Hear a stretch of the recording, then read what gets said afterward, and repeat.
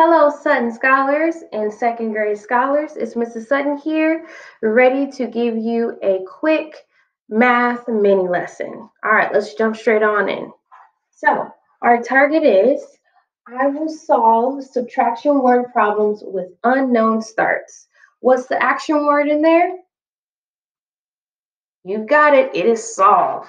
I'm going to box solve and solve just means that we are going to find that solution. Find that solution. When I say solve, you say find the solution. Solve. Find the solution. Awesome. And what are we going to solve today? Subtraction word problems. Subtraction is another word, another way for saying minusing. All right. And the last key vocabulary in that learning target is unknown starts. Whenever you hear me say unknown starts, I want you to give me the home. I don't know. Unknown starts. It's because we don't know. We don't know what that number is. Unknown starts means the number that the problem started with, we don't know it yet. And that's what we're going to find out. We're going to solve. All right. So how are we going to judge whether or not we're successful today? Is um, through our learning target, I can use an addition equation to find the unknown start of a subtraction equation. What's the verb in there again? What are we going to do? We are going to use and find. All right. So addition means that we are going to turn that subtraction, that minus problem into a altogether problem. What's the addend plus the addend equals the sum. And we have learned that since the beginning of the second grade with our fact family triangles. All right, so let's jump straight on in. Remember from Ready Math that we have a three reads routine. So we're going to read this problem three times, and each time I'm going to ask a different question. Mrs. Sutton had a number of pages to read for her homework assignment, which is very true. On Monday, she read 156 pages. So, so for the rest of the week, she had 202 pages left to read. How many pages did Mrs. Sutton have to read for her homework? Question number one. What is this problem all about? You've got it. Who's the character? Mrs. Sutton. What does she have to do? Read a lot of pages. All right. Now let's read it a second time. And this time, as we read it for the second time, I want you to put on your goggles and you're going to help me figure out what are we trying to solve in this problem. Let's do it. Mrs. Sutton had a number of pages to read for her homework assignment. On Monday, she read 156 pages. So far, so for the rest of the week, she had 202 pages left to read. How many pages did Mrs. Sutton have to read for her homework assignment? Remember that question? Our focus question is, what do we have to find out? You've got it. And it's glaring at you right in green. We're trying to figure out how many pages did Mrs. Sutton have to read for her homework? This is a true story. Now for our third read. I really want you to put some magnifying glasses on those binoculars of yours. And for the third time we read it, we're going to try and figure out what's the most important information. All set? You bet. Mrs. Sutton had a number of pages to read for her homework assignment. Now, in that first sentence, what's the most important information?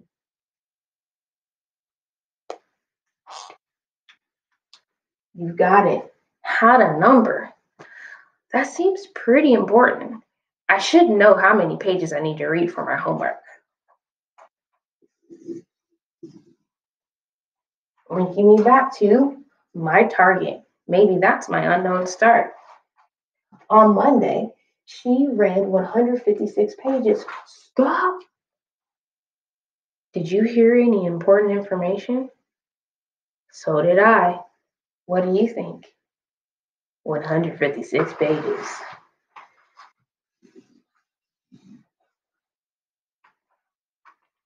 All right. So for the rest of the week, she had 200 pages left to read. Pause again with another piece of important information. Correct. 202 pages left to read. All right. So now the next step is figuring out what's our equation. Now, if I go back to my learning target and success criteria, I know that today we're going to solve a subtraction word problem. So already in my brain, I'm thinking, what numbers am I going to have to subtract? Now I'm going to reread my um, word problem one more time, and each time I'm going to add on to my equation. Mrs. Sutton had a number of pages to read for her homework assignment. A number. Sounds like an unknown. Unknown means we need to find that out. Unknown.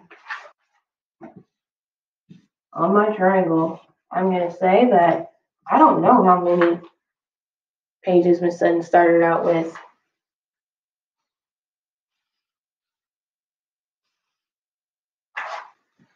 On Monday, she read 156 pages.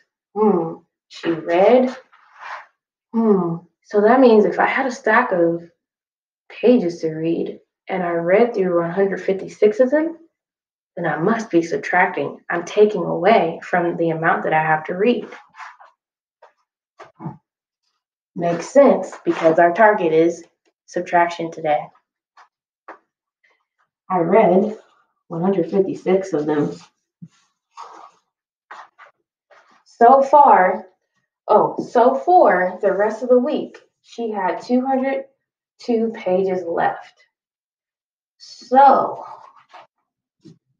just like read told me that I needed to subtract, so tells me that I need an equal sign. So, for the rest of the week, I, re- I have 202 pages left.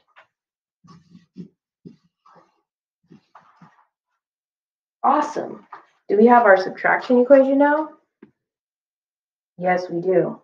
Now here's our learning target. I can use an addition equation to find the unknown start of a, a subtraction equation. We definitely have an unknown start. Now it's our job to try and figure out what is our addition equation. So we have our unknown at the, at the top. That's our sum. Now we have to figure out our addends. I know for sure that Miss Sutton, myself, ran 156 pages. And what did I have left? Oh yeah, going back to my important information, I have 202 pages left. Hmm. So if I want to turn this subtraction equation into an addition equation, what would be my new equation?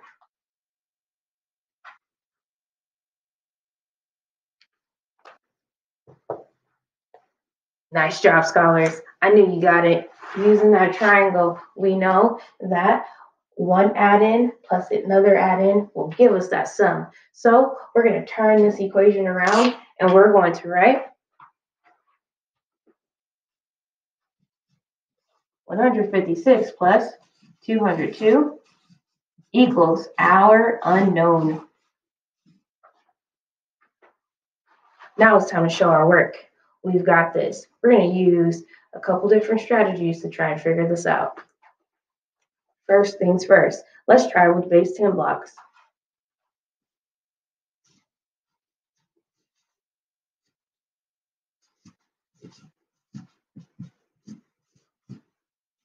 I'm going to set up my thinking.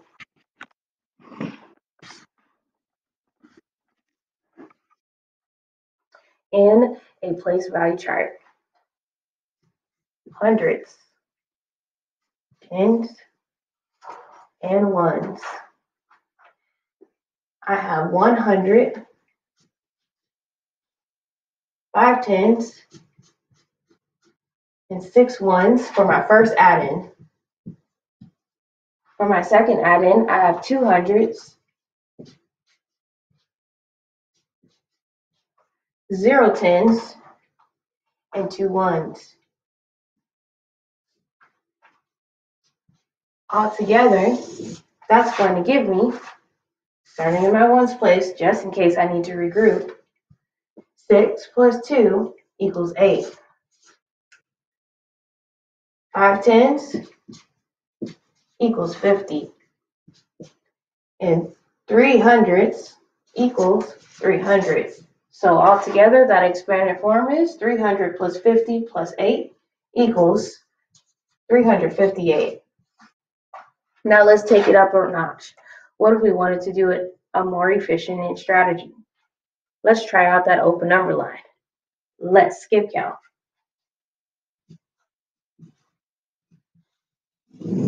All right, I have my number line. 156 is my starting addend, and I'm going to jump 202 times to get to my new sum, or the unknown start. Here we go. I'm going to add 200.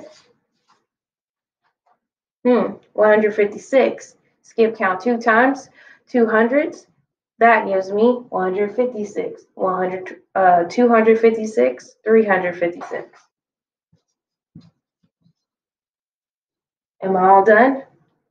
Definitely not. I've only jumped my 200s.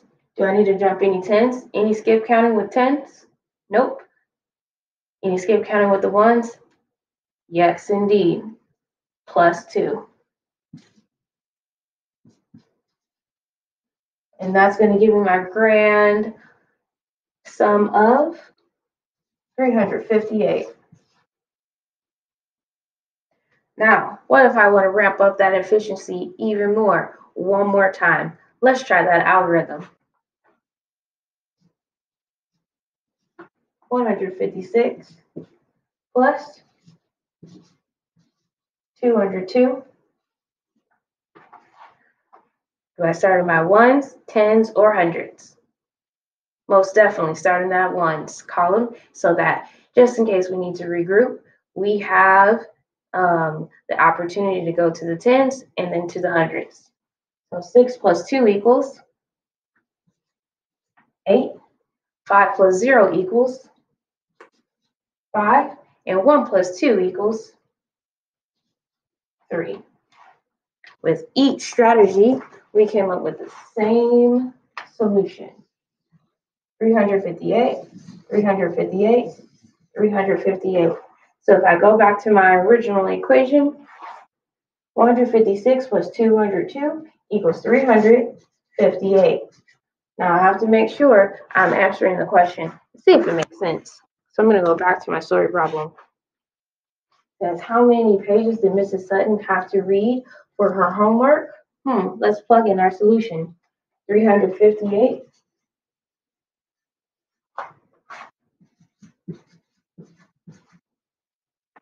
All right, now let's plug in that unknown start into the story problem, see if it makes sense while we read. Mrs. Sutton had 358 pages to read for her homework assignment. Okay. On Monday, she read 156 pages. That makes sense. Started with a big number, and then I took away a smaller number. So for the rest of the week, she had 202 pages left to read. That makes sense. All right, scholars, thanks for joining me in solving an unknown start problem with subtraction and addition. I hope you are giving yourself a four so that you can teach your parents or your brothers and sisters, cousins, whoever wants to learn. I challenge you to make your own word problem this week that has an unknown start, but is also a subtraction problem. Have a great day.